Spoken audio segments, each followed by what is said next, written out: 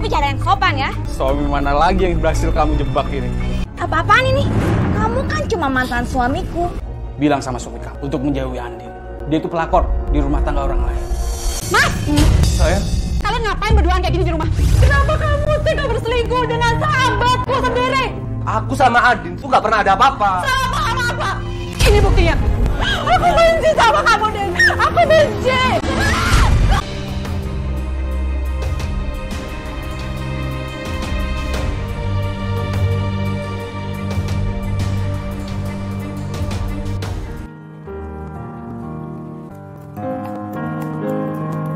Sayang, Iya mas, apa pekerjaan yang gak bisa dilanjutin besok? nggak bisa mas. Besok pagi aku ada meeting sama klien. Sayang. Mas, aku lagi ngejain hal penting ini loh. Oh, pekerjaanmu lebih penting dibanding suamimu. Ini tuh demi masa depan perusahaan keluarga. Aku mohon pentingnya kamu deh. Tapi selama ini kamu gak pernah punya waktu buat aku. Kamu selalu nolak aku setiap malam.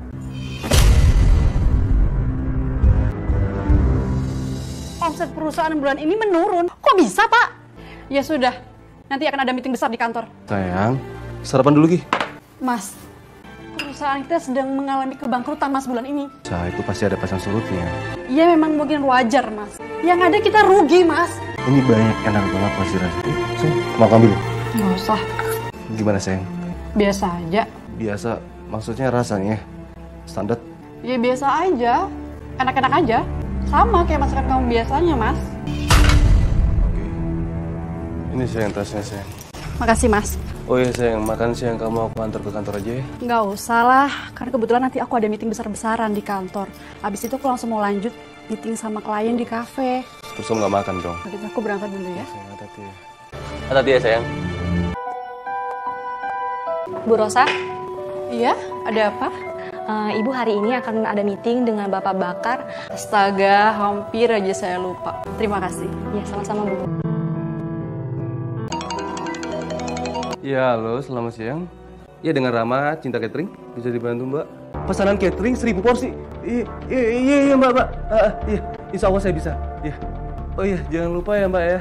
DP-nya segera ya, Mbak ya. Iya, Mbak, makasih. Alhamdulillah, ini dapat pesanan besar. Terima kasih, Tuhan. Mama, Mana Rosa? cuman tadi pamitan mau ketemu sama teman-temannya SMA. Dia pasti kelelahan. Oh, Mama mau minum apa, Mam? Mama cuman khawatir yang bisanya hanya megang kompor. Permisi.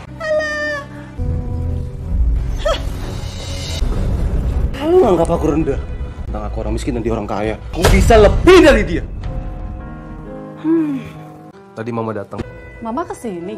Ngapain mas? Ya seperti biasa, selalu melontarkan head speed buat menantu. Tentu kamu udah paham lah. Mama tuh kayak gimana? Tapi nggak bisa seperti itu terus. Lama-lama aku tuh muak sama kelakuan mama kamu yang selalu menghina aku. Yang selalu merendahkan aku. Yang menjalani rumah tangga ini siapa sih? Kita kan? Bukan orang lain mas. Orang lain tuh cuma bisa ngeliat dan ngomentarin doang. Termasuk mama aku. Mas, aku terima kamu apa adanya. Bahkan aku menghargai apa yang sudah menjadi passionnya kamu sejak dulu mas. Kamu tuh suami aku. Dan aku cuma patuh sama suamiku. Ngerti itu kamu mas?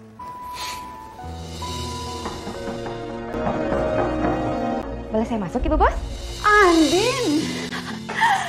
Masuk dulu ya, kita duduk dulu. Ya ampun, aku kira siapa?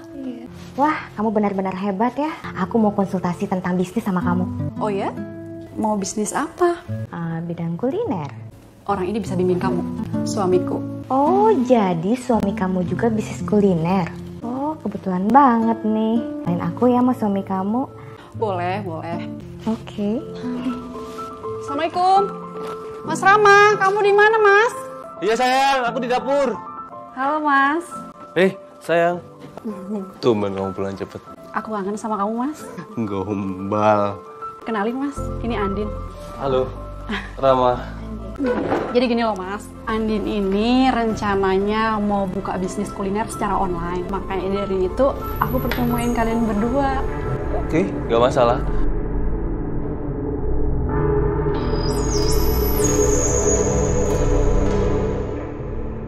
Ya, Mas. Kamu beneran gak apa-apa kalau harus ke sini? Kan aku juga dianterin sama sopir. Salam buat mama ya. Mudah-mudahan papa kamu cepat sembuh. Ya Mas, makasih ya doanya. Oh, ya, ya, ah, ya Edin. Gimana kalau misalnya kamu ke sini aja?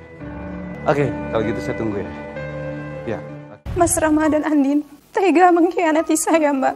Mereka menjalin hubungan terlarang tanpa rasa malu dan bersalah. Sakitnya seperti tertusuk sembilu.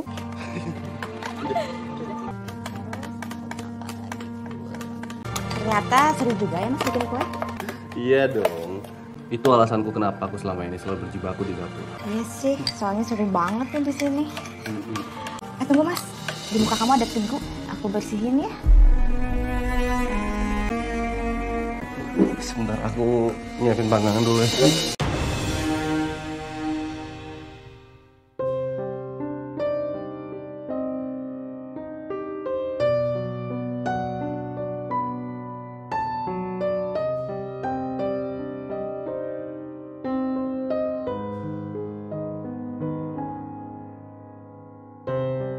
Ayo coba dulu kuehnya.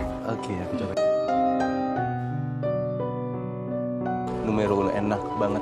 Dan kamu berhasil jadi pembisnis kuliner. Selamat ya. Yes. Oh ya mas, aku mau tanya. Kok disebutnya catering cinta sih? Karena setiap kali aku masak, apa pun itu mau kue atau apa pun, selalu pakai cinta. Dan masakan kalau ada cinta, itu adalah seni yang luar biasa sekali indah. Aku bangga banget deh kenal sama kamu. Kamu tuh laki-laki terhebat yang pernah aku temui. Dan kamu bangga dengan passion yang kamu punya. Dan itu bagus banget. Ayo dimakan lagi mas. Ini, Iya. Mana enak ya? kamu harus cobain ini dong.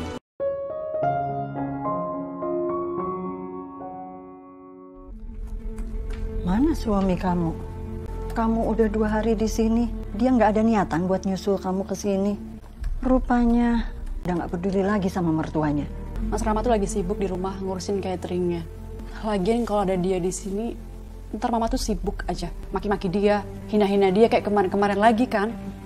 Rosa, Mama ini pengen lihat kamu bahagia. Mama nggak mau. Kamu kerja keras banting tulang. Sementara dia hanya enak-enakan menikmati jerih payah kamu. Udah sering loh Rosa bilang ke Mama sama Papa, Mas Rama tuh buka usaha, dia tuh kerja. Iya, walaupun di rumah. Paling pendapatannya juga nggak seberapa. Dia itu hanya mementingkan hobinya dan melupakan tanggung jawabnya sebagai suami. Buktinya, kalian belum dipercaya dapat momongan kan? Coba kalau kamu itu nurut sama mama, kamu mau menikah sama si Rudi, pengusaha yang sukses. Kenapa sih? Mama tuh nggak pernah berubah dari dulu. Bukannya Mama tuh doain supaya anaknya tuh, keluarganya tuh harmonis, tentrem, sampai ke kakek, nenek-nenek. Ini enggak. Selalu aja kayak gini. Ungkit-ungkit masa lalu aku kayak gini. Terserah kamu aja lah, Ros. Pantesan papamu sakit-sakitan gara-gara mikirin kalian. Ya Allah, berikanlah hamba kesabaran untuk menghadapi semua ini, ya Allah.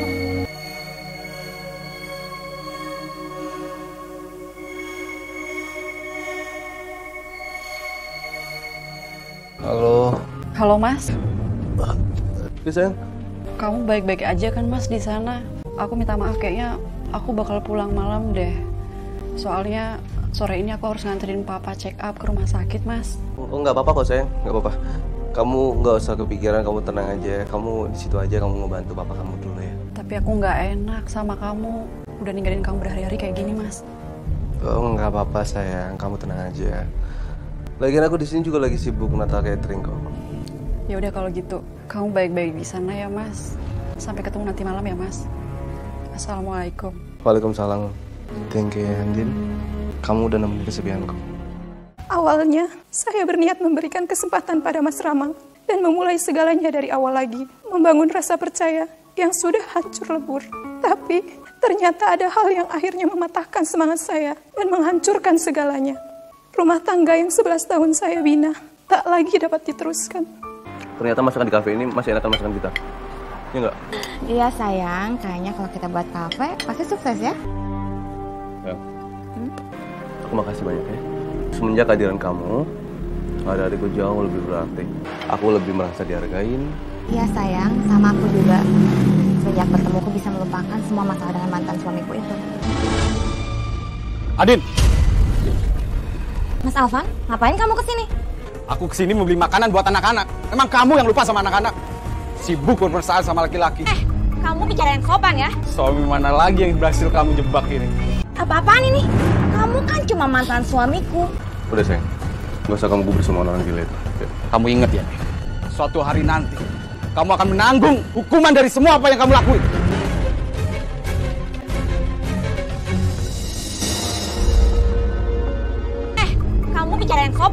Suami mana lagi yang berhasil kamu jebak ini? Apa-apaan ini? Kamu kan cuma mantan suamiku. Permisi, Bu. Iya, Ada tamu untuk Ibu di atas nama Bapak Alvan. Alpan. Ya sudah, suruh dia masuk. Baik, Bu. Permisi. Permisi Rosa. Eh, Alpan, silakan duduk. Oh ya. Gimana kabar kamu Ros? Alhamdulillah, aku baik. Kamu? Alhamdulillah aku juga baik. Oh ya, aku turut berduka ya atas retaknya rumah tangga kamu dan Andin. Padahal kalian itu pasangan yang sangat cocok loh. Kamu tahu Andin kan? Dia nggak pernah puas dengan satu pria. Dia rela ninggalin anaknya demi selingkuhan yang beristri.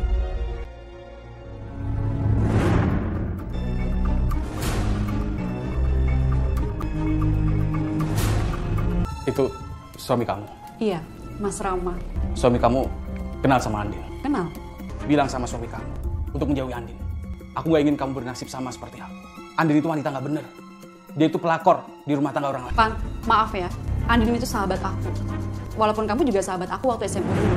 Tapi aku tahu betul Andin itu seperti apa. Ya, dia memang sifatnya seperti itu. Karena dia mudah bergaul. Makanya dia banyak teman. Enggak, Ros. Pokoknya kalau kamu mau rumah tangga kamu bertahan, jauhkan suami kamu dari Andin. Saya permisi.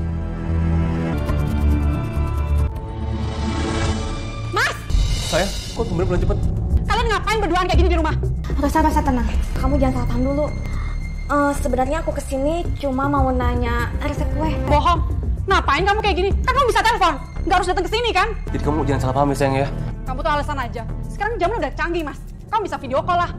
Nggak harus ketemu secara fisik kan? Apalagi aku nggak ada di rumah. Apa nanti kata orang kalau ngeliat kalian berduaan di rumah? Iya aku minta maaf sayang, please. Ah, ya udah, kalau kayak gitu aku pamit pulang dulu ya. Maafkan aku udah ganggu waktu kalian berdua. Sayang. Bu, Iya. Apa ini? Tadi pagi teman Ibu yang bernama Pak Alvan datang pagi-pagi mengantarkan ini menitipkan kepada saya, Bu. Astagfirullahaladzim. Mas Rama? Andin. Jadi apa yang dibilang apa itu semuanya benar? Kenapa semuanya harus terjadi? Mas Rama. Mas, Kebetulan kalau gitu kamu bisa ngebantu aku bikin kok. kenapa nggak Andin aja yang kamu suruh buat bantuin kamu, Mas? Andin itu kan penanggung jawab di acara itu. Kamu kan tahu. Aku tahu apa yang udah kalian lakukan di belakang aku selama ini. Kamu tuh salah paham. Aku sama Andin tuh gak pernah ada apa-apa. Salah paham apa? Aku udah tahu semuanya. Ini buktinya. Apa karena selama ini aku belum bisa memberikan anak untuk kamu, Mas? Aku minta maaf sayang. Aku selalu kilaf sayang. Hilaf! Kamu kamu berselingkuh! Kamu tega, Mas! Kamu jahat!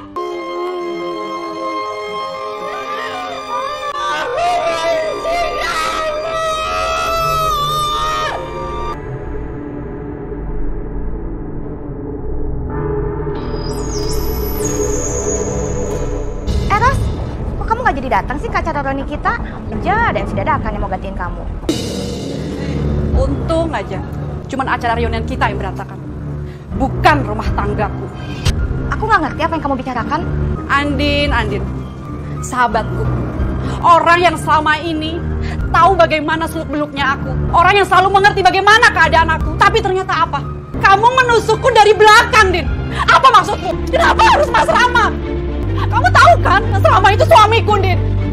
Maafkan aku, Ros. Maafkan aku. Apa?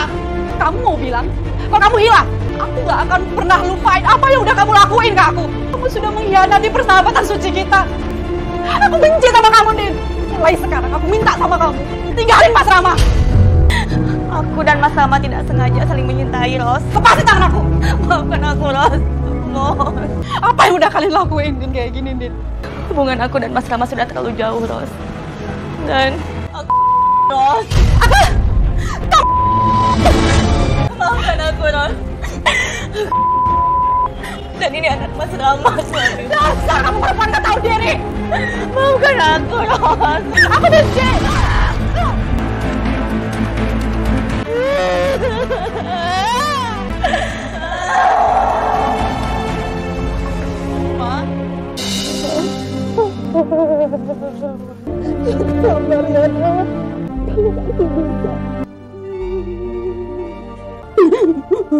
Sabar sayang, sabar. Akhirnya kami bercerai, Mbak. Mas Rama menikahi Andin yang terlanjur dan saya memutuskan melanjutkan hidup saya bersama Mama dan Papa. Bulan depan, insya Allah kami akan menikah. Dia adalah partner bisnis saya dan dia selalu mendukung pekerjaan saya.